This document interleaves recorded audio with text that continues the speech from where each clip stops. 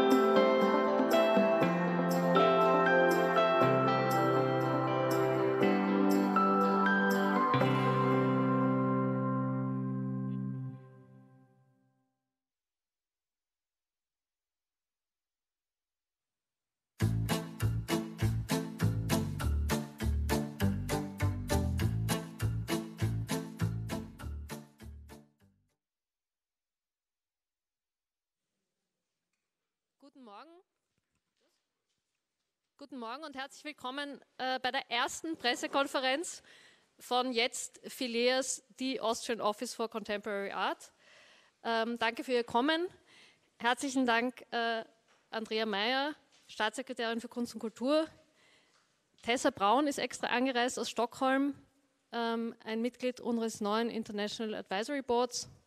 Und Sie alle kennen auch Jasper Sharp, Gründung, Gründungsdirektor schon und immer noch Direktor auch von Phileas, die Austrian Office for Contemporary Art. Ähm, und ich darf das Wort an Andrea Meyer geben.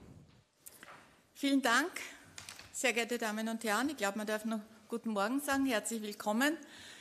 Die Sonne scheint, es ist heute ein guter Tag. Wir haben ein äh, besonders schönes Thema und ein äh, tolles Projekt äh, zum Vorstellen, nämlich die Einrichtung äh, von the Austrian Office for Contemporary Art. Ähm, das Thema ist Internationalisierung, ein aus meiner Sicht für, für die Kunst zentrales Strategiefeld, insbesondere für ein eher kleines Land wie Österreich. Internationalisierung ist immer so ein bisschen ein langweiliger äh, Begriff und befindet sich äh, auf vielen Papieren, die in irgendwelchen Schubladen liegen. Es ist ein oft verwendetes Schlagwort. Oft kann man sich nicht wirklich was Handfestes vorstellen. Es geht aber uns jetzt miteinander um nichts weniger als darum, Kunst aus Österreich von Künstlerinnen und Künstlern, die hier leben und arbeiten, über die Landesgrenzen Österreichs hinaus eine Bühne zu bieten. Das Kulturministerium war in diesem Zusammenhang schon in den letzten Jahren auch aktiv. Wenn ich nur zwei Beispiele herausgreifen darf. Im Filmbereich jetzt das neue Anreizmodell, um eben Österreich als Filmstandort auch international zu positionieren oder um noch ein anderes äh, Feld zu besprechen. Im April wird Österreich als Gastland auf der Leipziger Buchmesse vertreten sein, eine der wichtigsten internationalen Plattformen für österreichische Literatur. Aber heute geht es um die bildende Kunst und in diesem Bereich ist der Verein Phileas schon seit Jahren ein verlässlicher Partner für uns als Fördergeber. Phileas hat in den vergangenen Jahren seit seiner Gründung wichtige Aufbauarbeit geleistet und ein äh, beeindruckendes Netzwerk zur Förderung bildender Kunst geschaffen, Spendengelder lukriert und damit auch vielen Künstlerinnen und Künstlern aus Österreich zu einer breiteren Bekanntheit auch verholfen. Aber da geht noch mehr. Äh, gerade jetzt, äh, nach der Pandemie, die ja gerade für Künstlerinnen und Künstler auch sehr einschränkend äh, erlebt worden ist, ist es wichtig, Maßnahmen zu setzen, die eine internationale Zusammenarbeit, eine Bekanntheit über die Grenzen hinaus möglich macht. Ich stelle mir hier vor, dass wir in dem neu gegründeten Office internationale Besucher- und Austauschprogramme durchführen, dass es hier an diesem wunderbaren Ort Ausstellungs- und Veranstaltungsprogramme gibt. Kennen Sie äh, alle Beiträge, alle Positionen österreichischer Künstlerinnen und Künstler an internationalen Ausstellungen oder Biennalen? Wahrscheinlich nicht, nicht alle. Aber wir haben hier mit diesem Raum auch eine Möglichkeit, hier auch in Österreich diese äh, Beiträge zu sehen.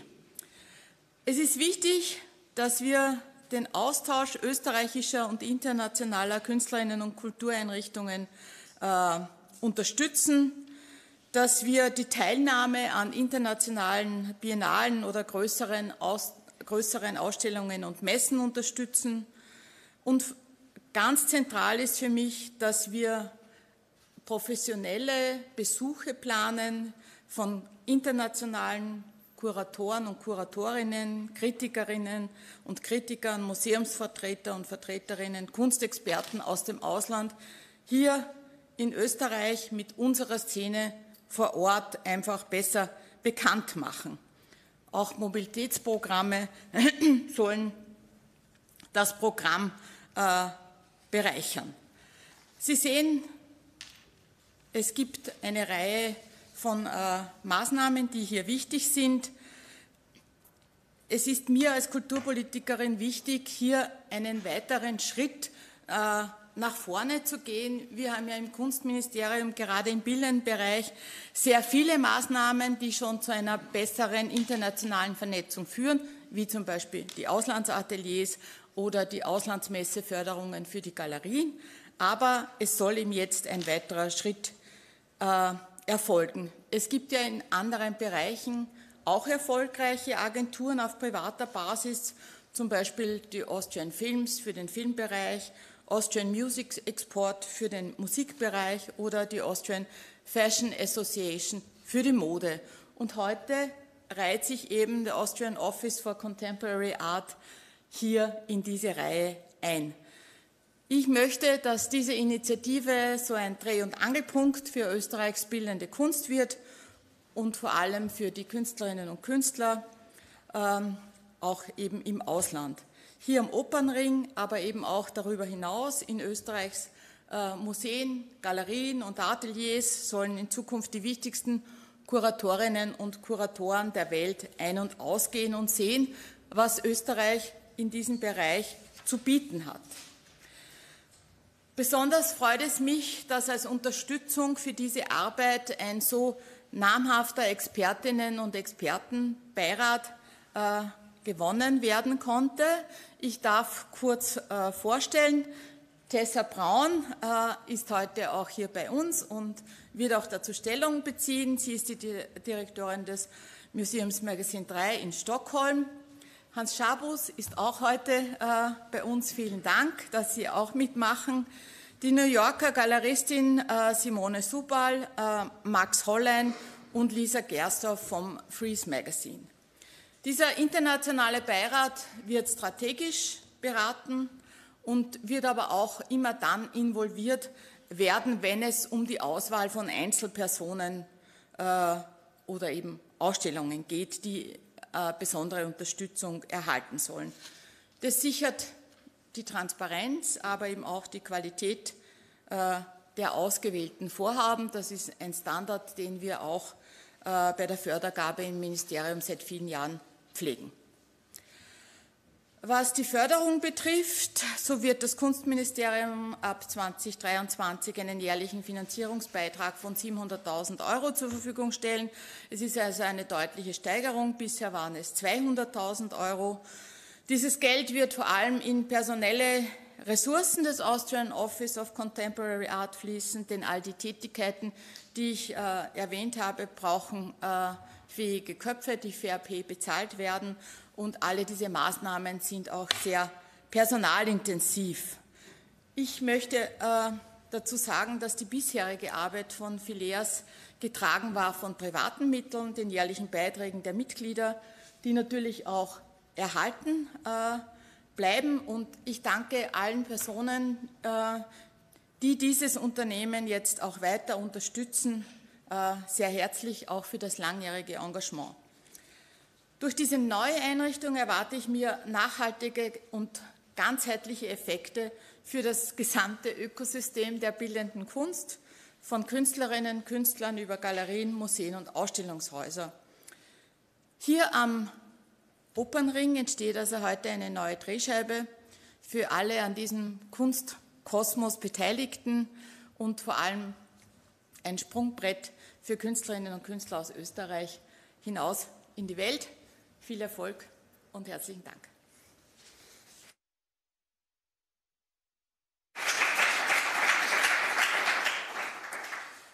Äh, vielen Dank, Frau Staatssekretärin, liebe Andrea. Äh, ich freue mich sehr, dass wir alle da seid. Äh, und vielen Dank, Tesse, dass du auch mit uns bist. Ähm, ich möchte vielleicht ganz am Anfang unserer Geschichte beginnen, warum wir Phileas überhaupt gegründet haben. Es gab spät 2013, Anfang 2014 viele Gespräche mit Künstlern und Künstlerinnen. Was fehlt hier? Was läuft gut? Was läuft nicht so gut? Und wir haben immer wieder ähnliche Antworten bekommen. Ich habe Gott sei Dank Atelierräumlichkeiten. Es gibt nie genug, aber es gibt viele Bundesateliers, andere Atelierhäuser in der Stadt. Ich habe Ausstellungsmöglichkeiten. Manche haben Professoren oder Assistentmöglichkeiten äh, in die Akademie oder Angewandte. Was mir fehlt, ist überhaupt ein Kontakt mit alles außerhalb Österreich. Der fehlt mir einfach ein Dialog. Ja. Und wir haben zwei Studien ganz am Anfang gemacht, die wir sind 20 Jahre zurückgegangen, zu schauen, wie viele österreichische oder in Österreich lebende Künstler Teilnehmer von die wichtigsten Biennale auf der Welt waren. Und es war ziemlich ähm, schockierend, muss ich sagen. Und gleichzeitig haben wir eine Studie gemacht von diesem Netzwerk von staatgeförderten Institutionen in der Schweiz, Pro Helvetia, in den Niederlanden, Mondrian Fond, in Dänemark, in Schweden, in Finnland. Äh, was machen die? Die sind alle zuständig, ihre zeitgenössische Kultur nach außen zu schicken, zu bringen. Äh, manche sind riesig, wie Pro Helvetia. Die machen nicht nur Kunst, sondern Theater, Design, Architektur, Literatur, alles Mögliche, Musik, Film. Aber wir haben auch genau die kleineren angeschaut, die rein zuständig für Kunst sind. Was machen die? Wie machen die das? Was haben die für Erfolge? Was heißt Erfolge überhaupt? Und wie sind Ihre Teilnehmer bei dieser Biennale? Ja? Und es war ziemlich glasklar, okay, das bringt was. Ja?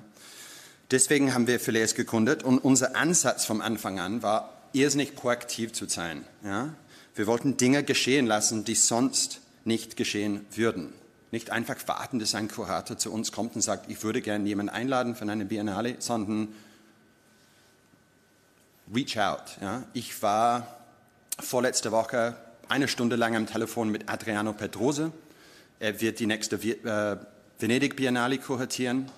Wir haben ein bisschen gewartet, bis seit es öffentlich geworden ist, dass er das macht. Wir haben ein bisschen Ruhe gelassen und dann Adriano angehoben und sagt, Adriano, wir sind da. Wir haben ein Budget, wir haben ein Visitor-Programm. Komm bitte oder einer von deiner kuratorisches Team nach Österreich und er hat sofort sein Konzept präsentiert. Jede Kapitel von seiner Biennale, die Hauptausstellung in Venedig nächstes Jahr. Und wir als Team mit anderen Stimmen haben angefangen, Ideen zu sammeln. Seine Assistentin kommt in April und wir werden hoffentlich drei, vier Tage durch alle möglichen Ateliers hier in Österreich, nicht nur in Wien, sondern in ganz Österreich gehen. Ja. Ähm, jetzt, diese Woche, ist die Lynn Cook da von der National Gallery of Art in Washington. Sie macht eine Kooperation mit einem Museum in Wien für eine Ausstellung. Wir haben sie eingeladen. Sie war, glaube ich, fünf Tage da. Anna von unserem Team, die unser Besucherprogramm leitet, war, hat sie begleitet durch viele Ateliers. Sie wollte einen Lucky Dip Tag haben, wo wir ganz Überraschungsatelier ausgewählt haben. Das war am Dienstag, das hat sie gemacht. Ähm, wir haben insgesamt 79 internationale Kuratoren, Kuratoren und Kuratorinnen bis jetzt nach Österreich gebracht, seit 2015. Ja. The result, das Ergebnis von all diesen Sachen. Nur im Bereich internationalen Biennale haben wir die Nummer von Teilnehmern von in Österreich lebenden Künstlern dreimal erhöht in neun Jahren. Ja, es gibt dreimal so viele österreichische Künstler anwesend und äh, die Stimmen sind gehört und die, die Arbeiten sind gesehen. Und fast alle dieser Projekte auf die Biennale waren co-produziert und co-finanziert zwischen Phileas und BM Kös.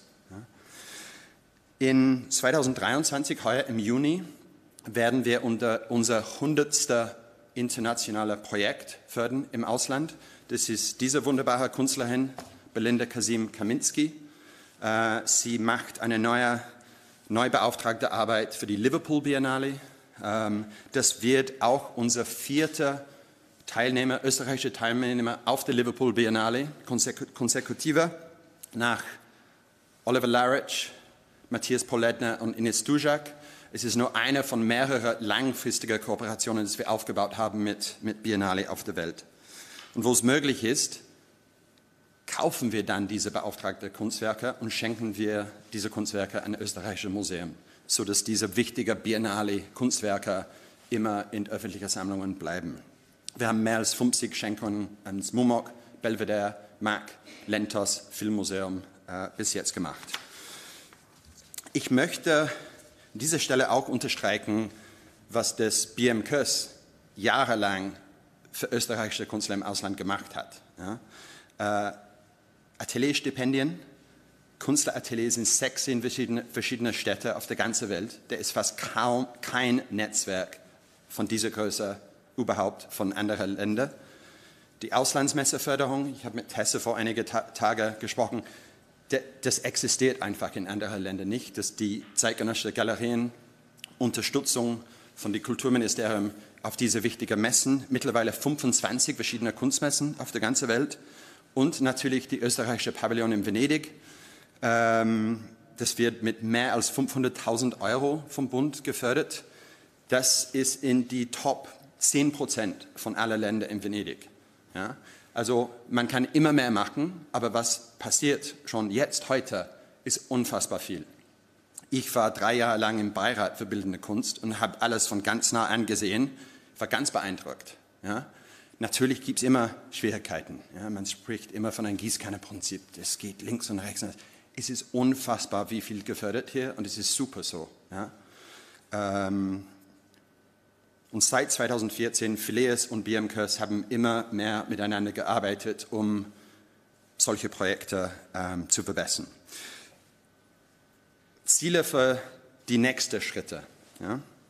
Wir würden wahnsinnig gern gemeinsam mit dem BMKers eine Strategie entwickeln, die alle diese möglichen Werkzeuge nutzt, am besten nutzt und zusammenbringt. Ein Beispiel. März 2020, ganz am Anfang der Pandemie, haben wir ein, ein fix gehabt welche Biennale kommt, ne, kommen nächstes Jahr, welche wichtig, hoffentlich, ja, welche werden nächstes Jahr stattfinden. Und eine ganz wichtige in Amerika ist die New Museum Triennial in New York. Gemeinsam mit der Whitney Biennial, das ist die wichtigste Biennale in Amerika. Und das würde dann im Herbst 2021 sein. Wir haben gesagt, wir kontaktieren das New Museum wir haben Massimiliano Gioni, der Artistic Director, kontaktiert und sagt, Massimiliano, Massimiliano es wäre super, wenn jemand hier kommt und ein paar Ateliers besucht, weil wir würden wahnsinnig gern etwas bei der Triennial unterstützen, produzieren. Und er hat die Kuratorin Margot Norton geschickt. Phileas hat einen Research Trip für Margot hier organisiert. Sie hat sofort Angelika Loderer ausgewählt für die New Museum Triennial. Es war weit weg die wichtigste Ausstellung in der Karriere von Angelika bis jetzt. Äh, sie hat dann im August 2020, also das, das New Museum hat einen Förderantrag gemacht zu Phileas. Wir haben es bestätigt. Zwei Monate später ein Förderantrag im BMKÖS, die haben es auch bestätigt. Und Angelika hatte einen super Produktionstopf und könnte ein unglaublich schönes Arbeit äh, für New York, für die New Museum Triennial produzieren. Das würde dann im Oktober 21 geöffnet. Also es war alles super, aber es hätte noch besser gewesen. Ja? Weil es gibt in New York zum Beispiel ein Atelier bei der ISCP vom BMKÖS gefördert. Jedes, jede drei Monate ist ein anderer österreichischer Künstler dort in New York. Wie super wäre es, wenn die Angelika diese Atelier für die drei Monate vor ihrer Ausstellung in New York haben hätten können, hätte können, ja? if she could have had this studio, um die Produktion, weil bei Angelika ist die Produktion natürlich ein sehr schwieriges Thema. Und, und ich weiß, dass ich gehe auf gefährliche äh, äh, äh Erde jetzt, da ist auch ein Austrian Cultural Forum in New York. Und die Angelika hätte die Möglichkeit, nur eine Arbeit bei der Triennial zu zeigen. Und wie schön wäre es, wenn down the road noch sechs, sieben, acht Werke von Angelika gleichzeitig zu sehen wären. Also es gibt viele Möglichkeiten hier und unsere Herausforderung jetzt ist, wie kann man alle diese Werkzeuge nutzen? Wir werden eng mit der Kunstsektion arbeiten, um diese Initiativen und ganz neue Initiative zu entwickeln.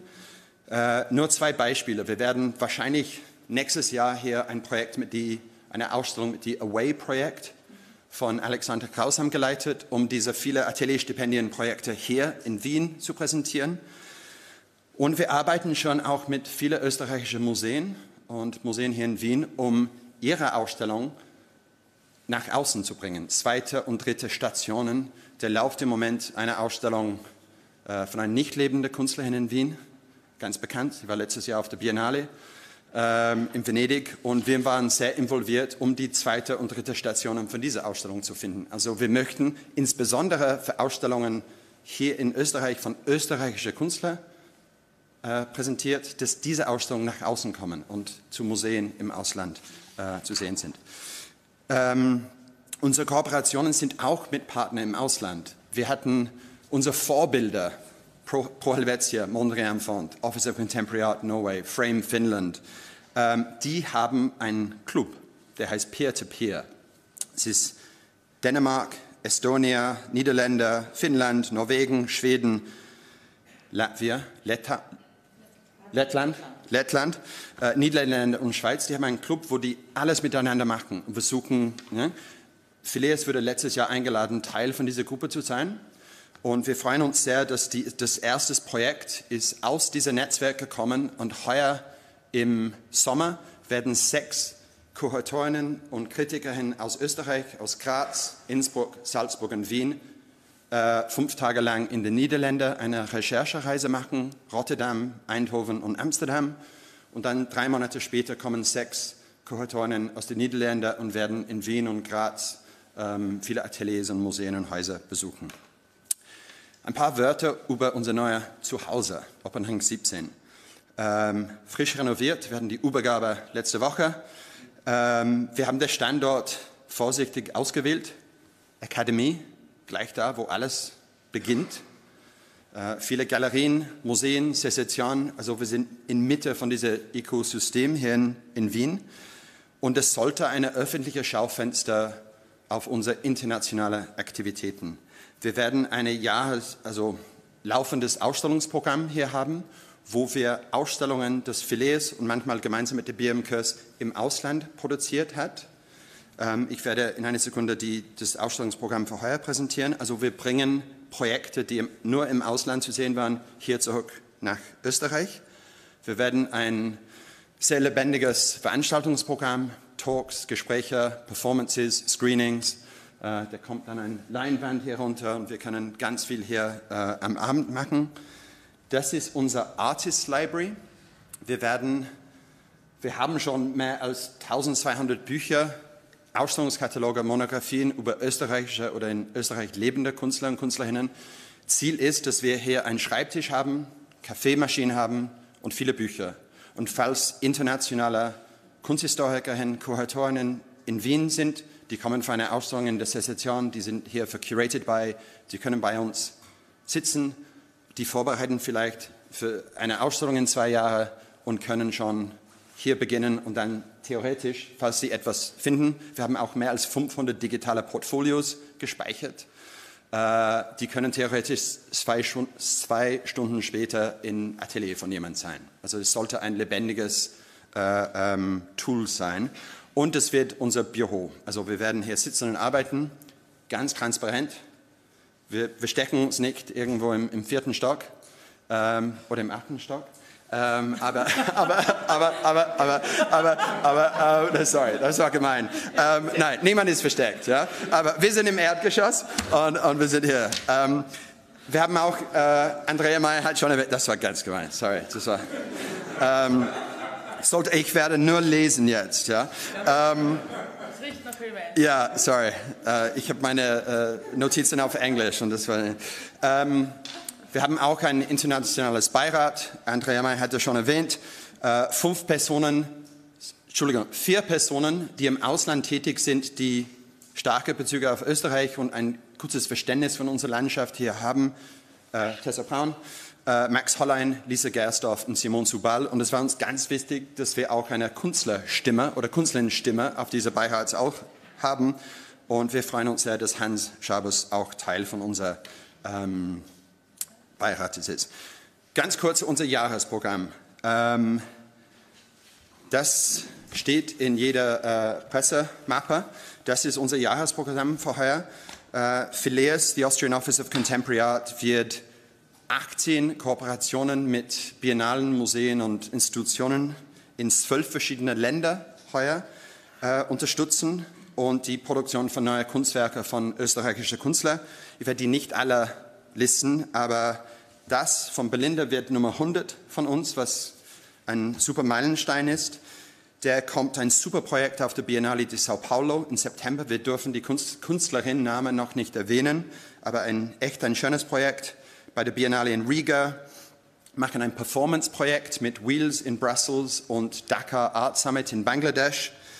Eine Doppelausstellung von Ashley Hans Scheierl und Jakob Lene Knebel im Palais de Tokio im Oktober, gleichzeitig mit Paris Plus. Also eine bessere Bühne geht's nicht. Der läuft im Moment eine Ausstellung von Maria Lasnik, ihre Filmwerk bei dem Museum of Fine Arts in Boston. Das ist durch ein Visitor-Programm, Recherchereise von den Kuratoren von Boston. Sie war da, wir waren im Atelier bei Lasnik und dann wir haben viele Filme im Filmmuseum geschaut. Sie war so begeistert, sie hat eine Ausstellung von den Filmen von Lasnik vorgeschlagen und der Direktor in Boston hat es sofort zugesagt. Und der Großteil von diesen Projekten werden auch gleichzeitig Finanzierung von BMKs auch bekommen. Unsere Ausstellung hier am Open Hang 17, äh, wie gesagt, wir werden drei, vier Ausstellungen pro Jahr machen, wo wir Ausstellungen, die im Ausland zu sehen waren, bei Biennale oder Museen, zurück nach Österreich bringen. Das allererste ist ähm, dieses Werk. Das ist ein irischer, in Wien lebender und arbeitender Künstler, John Gerard. Diese Arbeit, Leaf Figure, wurde der absolute Star von der Sydney Biennale in Australien letztes Jahr. Ähm, und das wird unsere allererste Ausstellung hier im März. 21. März ist Eröffnung. Und das ist die erste Einzelausstellung von John in Wien seit 2007. Äh, der kommt dann im Sommer ein ziemlich ein, ein Coup. Wir sind ganz stolz. Die Friedel Kubelka wird ihre erste Einzelausstellung in Wien seit mehr als zehn Jahren haben. Ähm, das ist eine Ausstellung, die in Rom im Makro zu sehen war, kuratiert von Luca Lopinto, ehemaliger Kunsthalle Wien-Kurator. Luca wird das auch hier kuratieren. Ähm, das ist im Sommer. Und dann im Herbst die erste Einzelausstellung seit, seit 2009 in Wien für Markus Schinwald. Ähm, wir haben letztes Jahr eine neue Arbeit von Markus auf der Biennale in Lyon produziert und eine Version von dieser Arbeit wird dann hier im Herbst äh, zu sehen. Also es ist uns wichtig, dass wir nicht nur Künstlerinnen und Künstler, die jeden Tag irgendwo in Wien zu sehen sind, sondern Künstlerinnen, die wichtige Figuren sind. Ich meine, Friedel Kubelka, es geht nicht wichtiger, meiner Meinung nach, hier als Vorbild Künstlerin. Und es ist uns wichtig, dass unser Ausstellungsprogramm auch einen Beitrag äh, irgendwie schafft. Besucherprogramm, ich habe schon Adriano Pedrosa erwähnt, Lynn Cook, der kommt dann im April Aram Moshayedi, Kurator von der Hammer Museum in Los Angeles. Und dann im die ersten Junitage. Wir haben eine Gruppe von Kuratoren, das wir zusammengestellt haben mit Kuratoren von Nigerien, Mexiko, Israel, Südkorea, Litauen und Dänemark. Sounds like the World Cup. Ähm, und die werden fünf Tage lang da sein und viele Ateliers besuchen. Wir machen auch seit heuer eine Reihe von Künstlermonographien, die heißt First Monographs. Wir haben auch ein anderes so kleines Defizit identifiziert durch Gespräche mit Künstlern, die haben gesagt, ja, was auch fehlt, ich habe keine Überblickspublikation. Ich bin, ich bin mehr als zehn Jahre, 20 Jahre unterwegs, bin so Mid-Career. Ich brauche etwas, die so ein gebundenes Portfolio irgendwann. Ja? Und wir haben eine Kooperation mit Distanz Verlag und mit der Grafikerin Marie Artiker und wir haben unsere erste über Sophie Thun heuer im März ähm, gemacht und der zweite wird im Mai 2023 erscheinen und das ist mit Christine Kosmas Meyer. Ja? Österreichischer Pavillon in Venedig.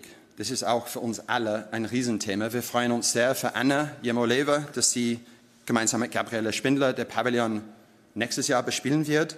Phileas seit unserer Geburt ist extrem äh, involviert in alles, was in Venedig passiert.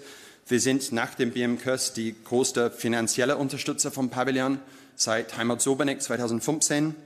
Wir haben auch viele Kunstwerke für die Hauptausstellung produziert von Ulrike Müller, äh, Soren Engstedt. Es gab auch die Franz West Präsentation äh, und letztes Jahr Birgit Jürgensen und Kiki Kogelnick gemeinsam mit Sektion A. Äh, wir machen ein Update von die historische Publikation über die Geschichte von Österreich auf der Venedig Biennale, das wir in 2013 gemacht haben. Es gibt mittlerweile äh, mehrere äh, äh, Ausstellungen, die hineinkommen sollten. Und ähm, wir wurden auch beauftragt, einen neuen langfristiger Freundeskreis für den österreichischen Pavillon aufzubauen. Bis jetzt war das Fundraising immer so Kurator oder Kuratorin spezifisch oder Künstler oder Künstlerin spezifisch. Wir würden gern eine Gruppe von Förderer, die jede Kunstpräsentation von Jahr zu Jahr unterstützen und noch ein Beitrag für das Budget, weil in Venedig wird das äh, schnell gebraucht. Und natürlich hier Oppenheim 17, wie wir letztes Jahr gemacht haben mit Ashley Hanschal und Jakob Lenne Knebel, gibt es die Möglichkeit, unsere Flecke während der Biennale-Zeit für irgendwelche Programmierung äh, natürlich zu nutzen. Alle diese Informationen findet man auch auf unserer neuen Webseite. Die ist gestern um Mitternacht live gegangen, phileas.art. Und Anna und Lena, unsere zwei Kollegen, haben die letzten vier Monate Tag und Nacht auf dieser Webseite. Also nur freundliche Dinge sagen, weil die haben, uns, die haben sich wahnsinnig angestrengt und es schaut wahnsinnig schön aus. Zu unserem Team. Ähm, Margarete Thurn, die sitzt dahinter, ist zuständig für unser ganzes Ausstellungsprogramm und die Veranstaltungen, die hier am Opernhang 17 stattfinden werden. Dorothea Schellhorn, äh, auch da zuständig für die private Mitglieder vom Phileas, ihre Programm Fundraising und auch das öffentliche Programm hier am Opernhang 17. Magdalena Polak äh, macht unser Artist Library, die First Monographs, unsere Webseite. Anna Hugo, unser Besucherprogramm, Visitor Program Social Media und auch bis heute Webseite und jetzt nicht mehr. Ähm, und Margarita Belcredi, da unser Deputy Director, aber eigentlich der Gehirn von unserer, unserer ganzen Arbeit äh, und macht unsere ganze internationale Beziehungen mit Partners auf der ganzen Welt und hat unfassbar viel, viel geleistet, dass wir heute überhaupt da sind. Es gibt auch ein paar Gesichter hier äh, äh, heute, dass ich auch bedanken möchte. Moritz Stipschitz äh, und Stephanie Reisinger waren die Co-Gründerinnen von Phileas. Äh, die haben so unfassbar viel gemacht am Anfang, dass wir ohne, ohne diese Arbeit würden wir gar nicht da sein. Und auch Bianca Bosco, die auch äh, wahnsinnig viel gemacht hat. Und Hannah und Christina und Salvatore, die auch dazwischen viel geleistet haben. Peter Pollack und Georg Geier äh, Anwalt und Steuerberater haben pro bono die letzten 200 Jahre gearbeitet und wahnsinnig viel gemacht. Äh, vielen Dank, BMKs, Andrea May natürlich und ähm, es gibt viele Gesichter hier, zu viel zu bedanken, aber es war, eine, es war, es war bis jetzt eine super Kooperation und es wird hoffentlich weiter so. Und ich möchte als allerletzte die privaten Mitglieder vom Phileas bedanken weil die haben so viel Vertrauen und Großzügigkeit ganz am Anfang. Es war ein bisschen eine Schnapsidee. Machen wir das? Ja, okay. Brauchen wir Geld? Wie machen wir das? Machen wir das rein privat? Ist das überhaupt möglich in Österreich? Let's see. Und es hat funktioniert. Und jetzt wir, finden wir uns in ein anderes Kapitel, aber diese Mitglieder sind immer noch äh, eng mit uns gebunden und werden immer noch. Und äh, ich möchte die auch ganz herzlich bedanken. Und ich lasse dann die Wort an Tessa. Danke. Äh, also, genau. Also, äh, sehr geehrte Staatssekretärin und sehr geehrte Mitglieder der Presse und lieber Jasper, äh, vorab möchte ich natürlich auch sagen, dass als Auslandsösterreicherin, in meinem Fall bedeutet das als Tochter steirischer Eltern in Schweden, in Stockholm geboren, dort aufgewachsen und dort auch berufstätig, ist es mir natürlich eine besondere Freude oder macht mir eine besondere Freude, Teil des Advisory Boards dieser Organisation zu sein. So das schon einmal äh, zu sagen. Ähm, ich bin seit über 20 Jahren in der zeitgenössischen Kunst tätig, zuerst als Kuratorin und jetzt als Museumsdirektorin. Äh, und mein Hauptinteresse äh, an zeitgenössischer Kunst liegt natürlich darin, dass ich sozusagen den Zugang an die Künstler habe, einen Zugang zu ihren Ateliers und den Gesprächen mit ihnen und denen nahezustehen. Äh, und auch einen Einblick in ihr Schaffensprozess zu bekommen und am besten Fall auch dabei zu sein, wenn neue Kunst entsteht und zu sehen, wie sie auf die Welt trifft. Und Während meiner Berufsjahre ist mir klar geworden, dass Künstler und Künstlerinnen ihrerseits den Bedarf haben, ihre Werke in einer Vielfalt von Perspektiven widerspiegeln zu können. Sei es durch Gespräche mit Künstlerkollegen oder Kuratoren, Technikern, äh, Autoren, dem Publikum. Künstler können natürlich in einer Art von Informationsblase arbeiten. Aber ich denke, das größere Gespräch macht den ganzen kreativen Prozess einfach reichhaltiger und tragt zu einer zweifellos äh, vitaleren Kunstszene bei. äh, und ein Gespräch, das noch größeren Einfluss haben kann, wenn der Austausch auf einen internationalen Kontext erweitert werden kann.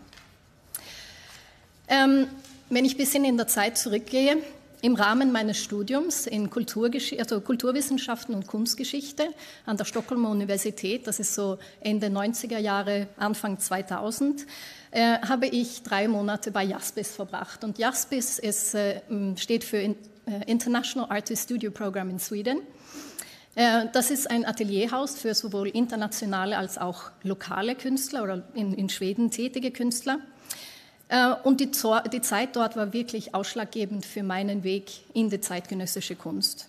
Und es ist nach wie vor eine Organisation, die äh, für mich persönlich von großer Bedeutung ist, für, unsere, für die Institution, äh, wo ich arbeite und für Kollegen in ganz Schweden.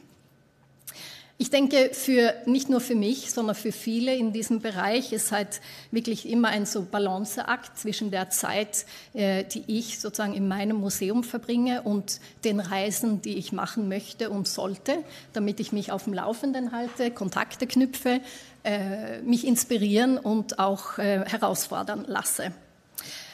Und dass es da stattdessen dann auch, also wenn ich nicht immer reisen kann, dass es eine Organisation in meiner Stadt gibt, die den Austausch mit lokalen und internationalen Künstlern, Kuratoren, äh, Autoren sozusagen anbietet. Das bedeutet natürlich, dass die Welt zu mir kommt. Äh, und die Unterstützung, die die Künstler und andere in Schweden tätige Fachleute äh, durch äh, Auslandsaufenthalte erhalten, die, die tragen wirklich zu konkreten Möglichkeiten zu internationalen Projekten.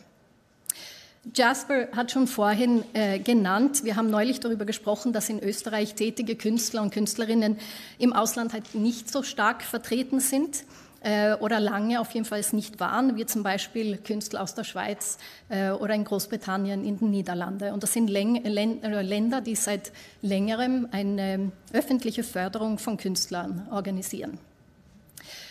Und auch in meiner Organisation, das ist so in meinem Museum, äh, haben wir in 35 Jahren nur einen österreichischen Künstler ausgestellt, äh, während wir eine Handvoll Schweizer Künstler gezeigt haben. Und dies hat natürlich, denke ich, vielschichtige Gründe. Aber auf den ersten Blick wird natürlich sehr deutlich, dass Schweizer Künstlerinnen zum Beispiel äh, vermehrt in internationalen Institutionen, Galerien und in Biennalen vertreten sind, sehr stark vertreten sind. Und äh, nicht, äh, also nicht zuletzt dank der Arbeit von Pro Helvetia. Die Sichtbarkeit ist halt wirklich etwas, was man nicht sozusagen übersehen kann, äh, wenn Institutionen ihr Ausstellungsprogramm planen äh, oder zum Beispiel auch Ankäufe für die Sammlungen beschließen. Ähm, ich denke, dass hier in Österreich äh, gibt es ein sehr, sehr starkes lokales Kulturleben. Und mit meiner Perspektive so von außen kann ich sehen, dass die künstlerische Sprache hier einfach unverkennbar ist vielleicht mehr als in gewissen äh, Nachbarländern. Und dies ist natürlich eine starke äh, Verallgemeinerung, das ist mir ganz klar. Äh, und ist für mich vor allem eine, eine Stärke. Aber es gibt irgendwie eine klare kulturelle DNA, die meiner Meinung nach teilweise eine Stärke ist, aber auch ein tieferes Verständnis für den Kontext äh, erfordert. Aber dann gibt es jetzt diese Organisation, äh, die helfen will und kann, die schon seit mehreren Jahren Kunstprofessionelle hierher bringt, um das kulturelle Leben hier zu entdecken. Und die dafür sorgt, dass lokal tätige Künstler internationale Aufmerksamkeit und Austausch bekommen. Und das ist eine Arbeit, wie wir wissen, die von beiden Partnern schon betrieben wird seit längerem. Die nun gegründete Partnerschaft zwischen privaten und öffentlichen Mitteln hat wirklich alle Voraussetzungen, das Kunstschaffen in dieser Region noch deutlicher international zugänglich zu machen. Die Informations- und äh, Durchschlagmöglichkeiten der Arbeit dieser Initiative werden hierdurch vervielfacht. Dafür ist das jetzt erweiterte äh, oder die jetzt erweiterte Finanzierung ein entscheidender Faktor. Das ist ganz, ganz klar und ich denke auch sehr einzigartig. Äh, aber gleichzeitig kommen, denke ich, wirklich gute Dinge und überraschende Dinge, vor allem aus den Werten, die vielleicht jetzt nicht in den Tabellen zu erfassen sind. Äh, Werte, die das Team von Phileas durch ihre solide Visionsarbeit seit 2014 äh, entwickeln. Kunst bereichert und fordert Menschen und die Gesellschaft am ersten, wenn sie in ein erweitertes Gespräch eingebunden wird. Der Glaube an eine Vielfalt von Perspektiven, denke ich, ist notwendig. Nicht zuletzt in einer Zeit, in der die Grenzen zwischen Ländern immer fester gezogen wird, braucht es den Glauben an den Austausch über diese hinweg. Vielen Dank.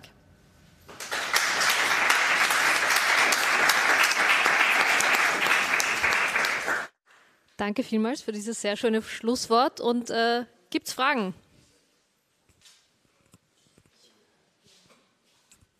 Danke. Ähm, ähm, die Frage ist, welche Rolle kommt äh, den privaten Förderern, Förderern äh, bei der Auswahl der Projekte, die jetzt gefördert werden, zu? Hat sich das strukturell verändert? Äh, und gibt es auch ähm, Beziehungen zwischen der Summe, die sozusagen das BMKÖs für ein bestimmtes Projekt beisteuert, zusätzlich zu der Finanzierung für Phileas selbst und der Summe, die der Förderverein aufbringt, also so Matching Funds oder ist, das, ist da irgendwas in diese Richtung angedacht? Soll ich beginnen?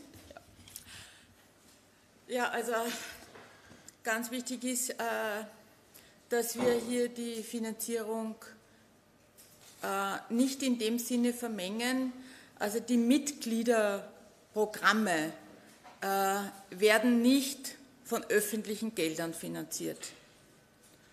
Die 700.000 äh, Euro Förderung für den neu gegründeten Tochterverein äh, von Phileas, äh, diese Summe wird halt aufgewendet für dieses schöne Ambiente, sehr einladend, ansprechend und natürlich für ähm, Personalressourcen und Ausstellungsprogramm. Ausstellungsprogramm, ja, die ganze, also alle diese Maßnahmen, die äh, wir skizziert haben, werden dadurch finanziert.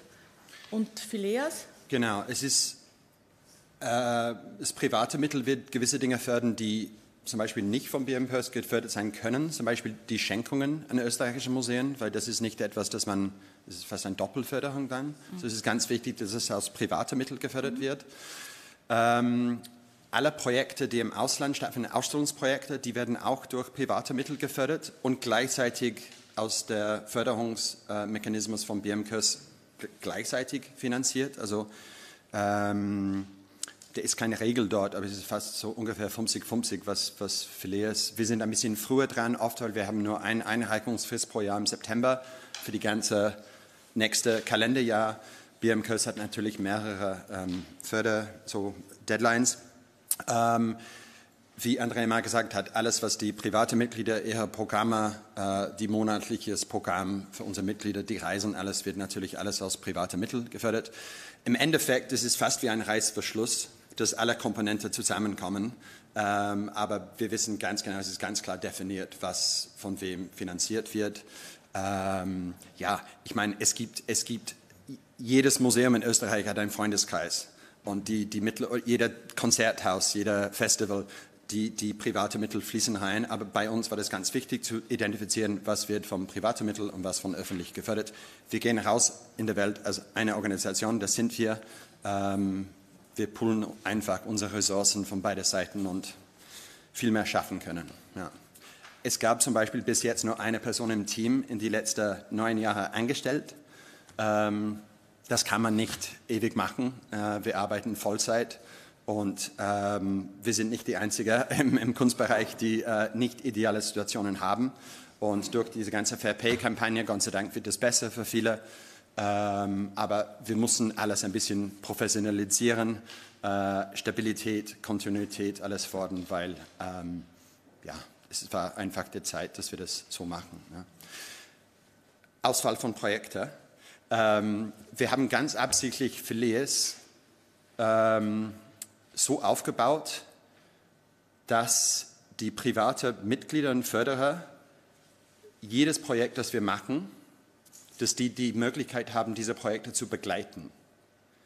Also was wir nicht machen wollten, war bitte an diesem Tag Überweisung schicken und an diesem Tag werden wir die Eröffnung feiern und wir trinken alle Champagner. Für uns war alles dazwischen das Allerwichtigste. dass die, die Künstler im Ateliers besuchen können, die Entwicklung von diesen Arbeiten. Es ist ein Lernprozess, es ist sehr inhaltreich, also ist es nicht einfach blinder, stummer Geldgeber, sondern genau das Gegenteil. Ja. Die sind extrem involviert. Wie das läuft mit unseren äh, Einreichungen, Einreichungsprozess, Application Process, ist alles ganz transparent auf die Phileas.art Webseite erklärt. Ähm, wir akzeptieren nur von öffentlicher Non-Profit-Organisationen, sprich Biennale, Museen, Kunsthallen, Kunstvereine auf der Welt, Einreichungen. Äh, es kann, kam überhaupt keine Vorschläge von uns als Team, von unser, äh, vom BMKs, von privaten Mitgliedern. Wir akzeptieren nur Einreichungen, die vom Ausland kommen. Ähm, wir werden dann alle, wir besprechen die alle mit den privaten Mitgliedern, weil am Ende des Tages ist es ihres Geld, die alle diese Projekte finanziert. Wir machen immer einen Vorschlag und wir diskutieren dann diesen Vorschlag. Was ist wichtig, weil wir können nicht alle Projekte finanzieren. Wir machen eine Auswahl. Heuer sind 18 Projekte von, glaube ich, ungefähr 50 Einreichungen. Also es ist fast die Hälfte, was nicht schlecht ist. Ähm, und das wird weitergehen. Und äh, manche muss man überhaupt nicht diskutieren. Also äh, wenn Adriano Petrose jemand auswählt für die Hauptausstellung in Venedig, ja, wir brauchen wirklich gute Gründe, warum wir das überhaupt nicht fördern würden. Ähm, aber unser Schwerpunkt ist jüngere, die jüngere Generation, weibliche Positionen. Wir haben bis jetzt 53 Prozent von aller unserer Projekte war weibliche, also Künstlerinnen. Das ist uns ganz wichtig. Äh, wir waren im Kontakt vor einigen Jahren mit einem Biennale in Südkorea und äh, wir haben gesagt, ja, habt ihr Interesse in die Künstler? Möchtet ihr vielleicht eine Forschungsreise? Also, ja, wir interessieren uns sehr für, für Hermann Nitsch und für, für Günter Bruss. Und ich sage, ja, ja, komm her. Und wir werden die, die, die Kinder von Günter Bruss und Hermann Nitsch zeigen, die Künstlerinnen, die ihre Erbe weiterführen, ja, weil es gibt zwei, drei Generationen unter dieser Künstler und wir haben versucht, wirklich die, die, ja, die Erben von dieser Aktionistenschule äh, zu positionieren und so haben wir geschafft. Ja. Wir haben ein Projekt mit Christian Eisenberger zum Beispiel gemacht, ja, aus diesem, ja, so ist das Prozess. Aber es ist alles, äh, wir haben alles genau definiert auf der Webseite, sodass alle das gut verstehen können.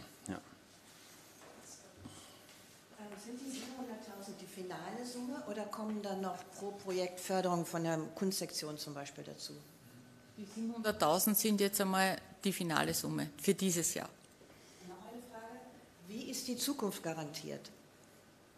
Ist das jetzt auf ein Jahr oder ist das auf fünf Jahre beschlossen? Oder? Zukunft ist immer trügerisch. Also nichts politisch auch. Also wir haben natürlich äh, äh, schon den, den, Ehrgeiz, das auf mehrere Jahre anzulegen und dass das einfach eine etablierte Institution ist, genauso wie die anderen. Austrian Films gibt es, glaube ich, seit 30 Jahren. Ja? Und es bekommt auch jährlich eine Förderung.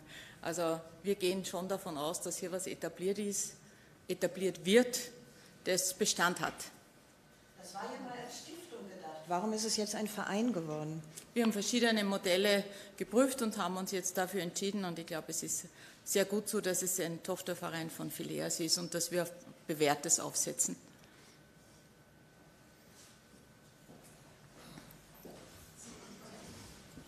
Mach du. Äh, letztes Jahr haben Sie mir gesagt, das Budget von Phileas beträgt 750.000 Euro und ein Drittel ist von der öffentlichen Hand. Jetzt sind allein 700.000 von der öffentlichen Hand. Wird sich da das Verhältnis verändert? Es ist, es ist Matching, 700, 700, ja. Also halb, halb. Ja. Genau. Das sind Matching Funds. Ja. Das, ähm, der Advisory Board, ähm, welche, das ist der Advisory Board von der, vom Tochterverein jetzt und nicht von Phileas. Und wie ist der ähm, eingebunden? Was hat er überhaupt für eine Bedeutung oder einen also Einfluss also, und wer bestimmt ihn? Und warum sitzt vom, zum Beispiel vom, vom Bund niemand drinnen? Ähm, also die gesetzliche Struktur ist ganz anders als die Organisationsstruktur. Wir sind eine Organisation, Phileas, the Austrian Office for Contemporary Art. Ja? Ähm, wir als Organisation sind von dieser Advisory Board beraten Äh, die werden alle unsere Aktivitäten begleiten. Und die sind, das ist kein Kontrollmechanismus, die sind eine reine Advisory Board. Wir brauchen ihre Advice. Ja? Ähm, es war ganz bewusst, dass wir jemanden von ein großes äh, Museum, äh, ähm, äh, ein zweites großes Haus in, in Stockholm, jemanden vom, äh, vom äh, Kunstjournalismus von Freeze Magazine, eine Galeristin, weil wir vertreten wir haben das Gefühl, wir sind nicht nur die Stimme für Künstler und Künstlerinnen her, sondern von die ganze Szene, von die Galerien, von die Museen, von den Kunsthallen her. Wir, wir sind eine Szene hier praktisch. Und, äh, und dann war uns ganz wichtig, dass wir einen Künstler oder Künstlerin auch, weil am Ende des Tages, die werden uns sagen, was, was gebraucht wird. Und Hans ist jemand, der extrem international tätig war und auch hier unterrichtet und kann auch die Stimme von der nächsten Generation auch äh, zu diesem Tisch bringen. Ähm, ja, es gibt ein Advisory Board und es gibt auch einen Aufsichtsrat äh, von dieser Organisation und dort sitzen äh, zwei Personen von BMKÖS und es ist auch ein äh, äh eine Niveau, wo wir äh, unsere Strategie diskutieren und die werden auch unser, unser Wachstum hoffentlich auch äh, begleiten. Ja. Im Aufsichtsrat, alles ist auf der Webseite, schwarz-weiß, man kann alles finden äh, vom BM Köss, Theresia Niedermüller und Gudrun Schreiber und äh, gemeinsam mit Peter Pollack und Nicole Ellich-Adam, eine von unseren Gründungsförderinnen. Ähm, ich da vielleicht noch ergänzen darf, es ist bei allen unseren äh, Beiräten im Ministerium äh, so, äh, dass diejenigen, die, die die Förderung abwickeln, nicht im Beirat sitzen. Daher ist auch hier niemand im Beirat vertreten, aber sehr wohl im Aufsichtsrat. Und Gudrun Schreiber ist die frühere Abteilungsleiterin für die bildende Kunst und ich bin sehr froh, dass wir sie gewinnen konnten, äh, hier wieder ein bisschen anzudocken. Und, ähm, und klar ist sowieso, dass äh, das Kunstministerium eng äh, mit dem Verein zusammenarbeiten wird, weil wir uns ja sicher abstimmen, informieren und also diese, diese Arbeit muss sowieso passieren, unabhängig, ob man jetzt in einem Gremium sitzt oder nicht. Die 700.000 kommen von wo? Wurden die irgendwo sozusagen weggenommen ähm, oder wo, wo, wo, sind die plötzlich aufgetaucht? Wir, haben, wir aus den Budgetverhandlungen. Wir haben zum, zum Glück äh, so gut Budget verhandelt, dass wir ja über 50 Millionen mehr haben gegenüber 2022 und daher jetzt auch so wichtige Dinge gestalten können wie, wie diesen neuen Verein. Kurz ein Wort zu dieser Aufsichtsrat. Ähm, wir haben schon äh, einige Sitzungen gehabt.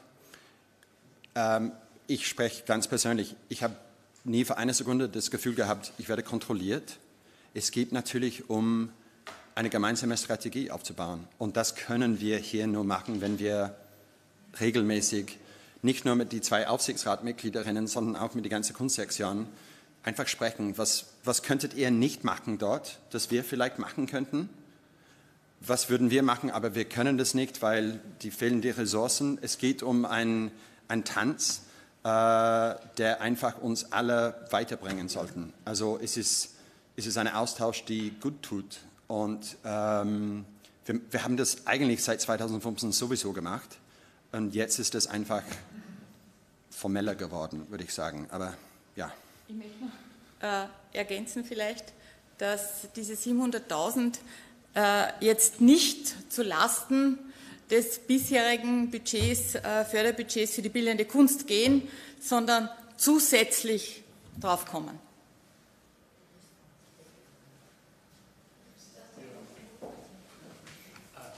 Nur ganz kurz gefragt, äh, das Verhältnis zur Auslandskultur, also zum Außenministerium, wie gestaltet sich das? Gibt es da einerseits finanziell, aber auch sonst äh, Beziehungen, wie das versucht wird äh, zu koordinieren? Wir arbeiten mit der Sektion Auslandskultur im Kulturministerium sehr gut zusammen. Wir stimmen uns sehr viel ab. Es sind viele Projekte ja nur deshalb möglich, weil wir äh, auch zusammenarbeiten und das Kunstministerium auch hier äh, Fördergelder äh, für verschiedene Vorhaben an den Kulturforen investiert. Und so haben wir natürlich auch diese Tätigkeit politisch abgestimmt. Wir haben uns zweimal, glaube ich, mit Christoph Thun Hornstein getroffen über die letzten Monate. Es ist uns ganz wichtig, dass wir verstehen, was die machen möchten und dass er und die ganze Auslandsministerium versteht, was wir machen, dass wir miteinander reden. Es gibt überhaupt keine finanzielle Beziehung äh, zwischen Phyllis, die Austrian Office for Contemporary Art. Es gibt eine, eine, eine kleine Förderung für unser öffentliches Programm von Stadt Wien jedes Jahr. Das haben wir seit einigen Jahren, äh, aber mit Auslandsministerium keine. Es ist einfach ein Dialogprozess und sollte auch so, finde ich.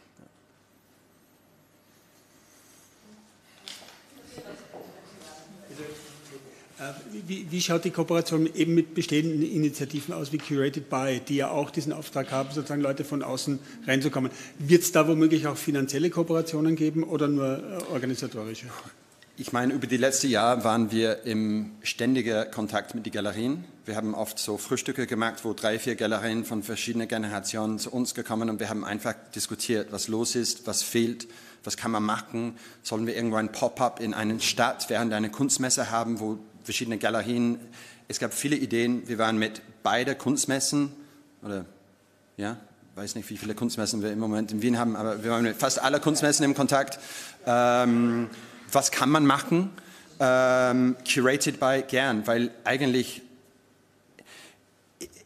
es war immer ein bisschen ein Problem, dass gleichzeitig in Wien es gab ungefähr fünf, sechs, sieben, acht, neun Einladungsprogramme für Sammler. Es ist gut so. Aber es ist ziemlich verwirrend, wenn jemand im Ausland sitzt und bekommt vom Vienna Art Week, äh, äh, Spark, äh, Phileas, alles lauter Einladungen. Also es, wir haben nie das Gefühl, wir haben überhaupt nicht das Gefühl, dass wir ähm, wir möchten einfach miteinander arbeiten. Ja, falls wir zum Beispiel eine Kuratorengruppe zusammenstellen und gleichzeitig mit Curated by, das haben wir einmal gemacht. Es war die allerbeste Forschungsreise, dass wir, weil die Kuratoren waren im Himmel. Die hatten so viele kuratierte Ausstellungen. Also wo wir kooperieren, ist, ist wahrscheinlich der, der Zeitplan von unseren Besuchern zum Beispiel ähm, vergleichen und, und gleichzeitig machen. Finanziell, ähm, finanziell einfach fördern wir ganz wenig hier in Österreich. Das ist nicht unser Ziel. Initiativen schon, Zeit, Energie, äh, Ideen deponieren, aber das Hauptteil von unser, unser finanzieller Mittel fließt dann im Ausland für Projekte. Ähm, absolut überzeugend und faszinierend. Ich frage mich aber, wenn Jasper Schaap zum Beispiel Albertina-Direktor oder sowas werden würde, wie wird der Posten nachbesetzt? Ist das dann in Ihrer Hand oder von Ihren Mitgl euren Mitgliedern? Oder? Let's cross the bridge when we get there. Genau. Außerdem wurden viele wunderbare äh, Frauen hier vorgestellt, die mitarbeiten. Genau. Also. Und, ja die Name Direktor steht auf der äh, Visitenkarte, aber äh, eigentlich äh, mache ich genauso viel wie alle anderen fünf Mitglieder im Team. Und äh, wir sind hier Phileas, die Austrian Office of Contemporary Art, zu feiern und finde es einfach überhaupt nicht notwendig, um da über andere offene Stellen zu reden. Ja. Mit einem anderen Direktor oder Direktoren, wie jeder andere Haus in Österreich und auf der Welt. Wer wählt den? Ist dann das Bundesministerium daran beteiligt? Oder? Kommt das nur aus We will cross raus? that bridge when we come to it, würde ich sagen. Keine Pläne. Ja?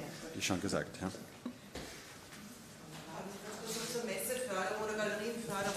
Ist, ist damit Messeförderung auch gemeint hier oder, oder bleibt die Messeförderung ähm, in der im, Die Messeförderung der bleibt äh, in der Abteilung Bildende Kunst. Genau. Was ist dann eure Galerienförderung? Wir haben keine Galerienförderung es ist, es ist ein Austausch mit Galerien, das machen wir ständig, aber es ist mehr so ein Liaison mit den ganzen Galerien. Wir besprechen mit allen die neue, junge Galerien, was braucht ihr im Ausland, was könnten wir machen. Geht es um eine Seite in Art Forum nächsten Monat, wo alle ihre Ausstellungen gelistet sind. Wie können wir etwas leisten, um ihre internationale Tätigkeit? Zum Beispiel eine Sache, die wir gerne machen können, ist, die Kuratoren, die hier kommen, auf unsere Einladung, auf unsere Einladung die werden wahrscheinlich jeder 12, 14 verschiedene Galerien besuchen, gemeinsam mit uns. Ähm, Lynn Cook war Äh, am Dienstag in, glaube ich, vier, fünf verschiedene Galerien, hat die Galeristinnen kennengelernt und einfach, ähm, also wir können ganz viel machen, die, wo kein, überhaupt kein Geld äh, fließt. Es geht einfach, die Großteil von unserer Arbeit ist Zeit, Netzwerk, Telefon, E-Mail, Gespräche. Ähm, und deswegen ist es super, dass das Team jetzt äh, fix eingestellt sein können und ja. Ich denke mir auch, dass es eine gute Ergänzung gibt äh, im Sinne einer finanziellen Förderung, aber auch die ganze Aufbauarbeit, die viele Galerien ja, mit den hier lebenden Künstlern und Künstlerinnen machen, dass man die auch äh, besser bewertet international und mehr unter die Kunstszene trägt. Das wäre eigentlich die Aufgabe, die ich hier sehe. Genau. Wo eine existierende Struktur schon sehr gut funktioniert, wie die Atelierstipendien, äh, Messeförderung, unsere Rolle ist dann ganz was anderes, würde ich sagen. Ja. Ähm, falls wir zum Beispiel, wenn wir hören, dass ein neues Atelierhaus irgendwo geöffnet wird in einem Stadt im Ausland, können wir das als Vorschlag machen für einen nächsten Schritt für die Atelierstipendien, also so mehr Consulting ähm, als Teil von diesem Dialog. Aber wir müssen gar nichts, kein finanzieller Betrag, weil das funktioniert schon hervorragend direkt vom BMKs aus. Ähm, die Produktion von Werken und Ausstellungen im Ausland braucht doch beide Seiten, weil äh, wenn man ein neues Film für Dokumente produziert oder ja, eine große Ausstellung irgendwo im Ausland, die Ausstellung von Shilan Knebel im Palais de Tokio wird eine Riesensache sein im Herbst. Ähm, das ist dann gut so, das Geld kommt von BMKs und auch von der Seite von Phileas. Also es gibt manche Fälle, wo es einfach gebraucht ist und manche, wo wir, wir oder das BMKs kein fin finanzieller Beitrag, aber wir unterstützen uns einander. Yeah, running out of German, but yeah. Every, every case is a little bit different. Umreißen. Also für Mode, für Musik und für Film gibt es ähm, vergleichbare ähm, Institutionen. Beispiele, wo es einfach schon Agenturen gibt in der, in der Mode. Und die werden auch vergleichsweise ähm, gefördert, auch mit oder werden auch gefördert. Betrag oder ja, werden auch. Naja, ich habe jetzt die Beträge nicht auswendig alle im Kopf, aber kriegen sicher alle einen sechsstelligen äh, äh, Förderbetrag. Ne? Also Austrian Films hat, hat eben die Aufgabe, österreichische Filme auch im Ausland äh, zu bewerben. Das ist eine ganz wichtige Stelle. Ich glaube, gibt es seit 30 Jahren. Äh, für die Mode haben wir auch seit einigen Jahren, macht zum Beispiel den Modepreis, aber das ist eine Stelle, die auch Förderungen vergibt.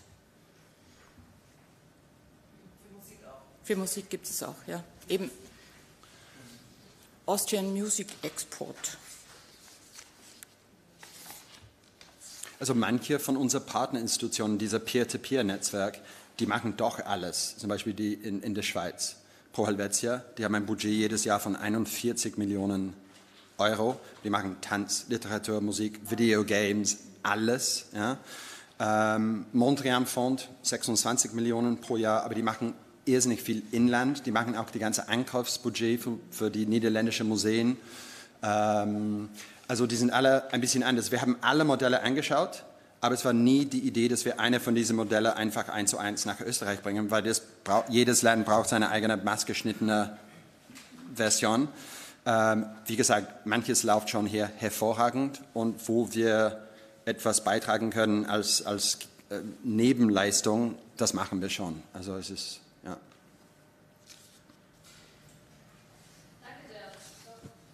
Alles weitere bei Kaffee und Wasser und Saft.